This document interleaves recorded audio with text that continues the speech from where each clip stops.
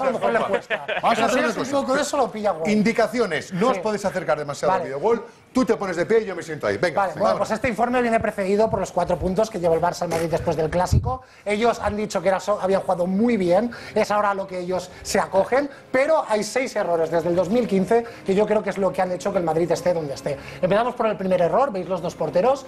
Vino Claudio Bravo, eh, en los del Barça nos pensamos que después de no estar Valdés íbamos a tener problemas. Ha demostrado, tanto en su sobriedad, salidas incluso en el uno contra uno y en los partidos decisivos, haber estado a la altura. Por contrapunto de Casillas, que aquí sí que será indefendible, que ha estado en el partido del Schalke horroroso. El otro día, el día del Barça también ah, hubo algún fallo y el día del Atlético de Madrid tampoco estuvo bien. Yo pregunto, ¿cuándo vais a retirar a este hombre? Está para jugar a cartas en el MUS, Mira. en un geriátrico. Dejarlo Mira. jugar al hombre. Yo, yo creo, Jordi, en este te podré rebatir muchos temas, pero en este tema concretamente creo que no por Claudio Bravo, sino que el ciclo de Iker Casillas en el Real Madrid terminó hace tiempo y que su continuidad está condicionando y es evidente el, el juego del Real Madrid y el debate alrededor del Real Madrid. Pero ojo, ojo, lo único que estoy Espera, ser un topo, Espera, espera, espera. No, no, no. Es más cotilla que Mariñas, tío. No, no, Coño, eso, es que es la descalificación y ahí no voy a entrar. Pero lo único que digo es.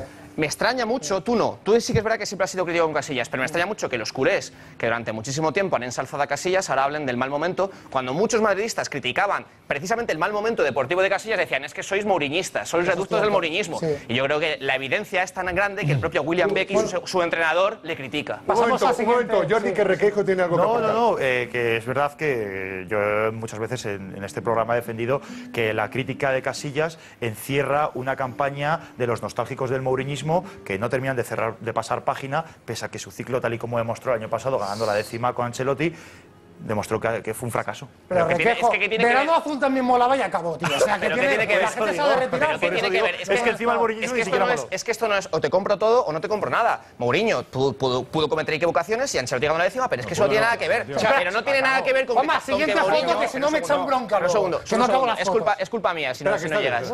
Pero eso no quiere decir con que Mourinho consideró que Casillas no estaba en su mejor momento y es que el tiempo en eso le ha dado la razón. No, no porque Mourinho puso a Dan.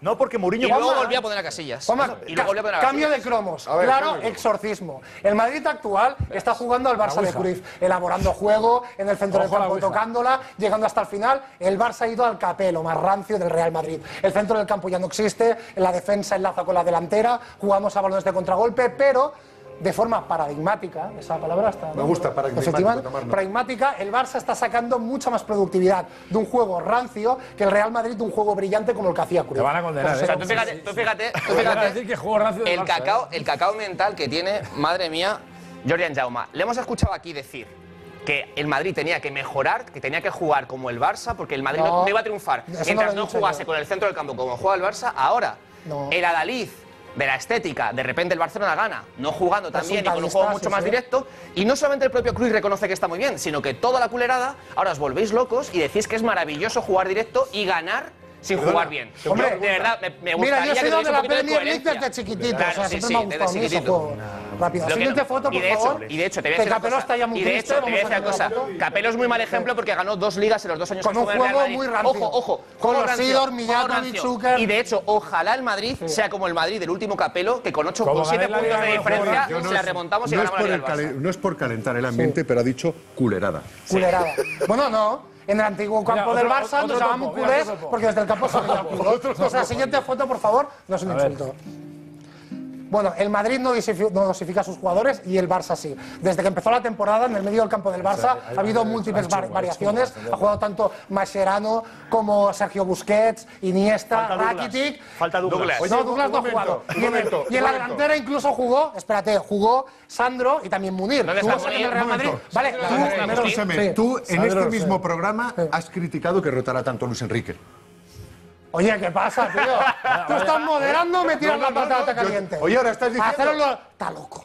Bueno, pues el Real Madrid, como digo, no ha dosificado, por eso Cross está fundido. Modric, yo creo que también se lesionó por el aspecto físico, ¿Pero qué porque dices? tenían las piernas totalmente. Y luego, lo ¿Qué que es la ¿Eres médico defensa con Carvajal, con Sergio Ramos, no habéis dosificado a nadie. ¿Por qué? Porque miráis al banquillo y no hay nadie. Pero vamos no a ver. tenéis a nadie Mira, en el banquillo. Concretamente, el ejemplo de la defensa, estás más que equivocado, porque Balán juega minutos, Mira. Arbeloa juega Hombre, juega minutos. Coentrao. No, no, no, Balán Coentrao está, poco, ¿eh? está lesionado. Por- el único, la, la principal queja que se puede tener en el madridismo y que nosotros Sí. le hemos hecho en este programa, casi todos los contentulos que hemos venido madridistas, es que, por ejemplo, Tony Cross está fundido. Y eso es verdad que Ancelotti se empecina en no dosificar. Pero de ahí, de ahí hablar de la gestión de la plantilla de Luis Enrique, que ha sido lamentable. No, no, que recordemos, no, no, no, no, ha dosificado minutos. De verdad. Vale, ¿Cómo vale, vale, que no le he dicho, no le he dicho. Uy, se acabó. Bueno, oye, has batido un récord, has llegado a la foto número 3. Tenías el Coño, no me dejáis, Pero oye, no pasa nada, lo dejamos en el aire y lo puedes retomar cuando quieras. Yo me tengo que despedir, pero será solamente hasta mañana, a la misma hora, a las 9 de la noche, en Intereconomía. Punto pelota. Y si quieren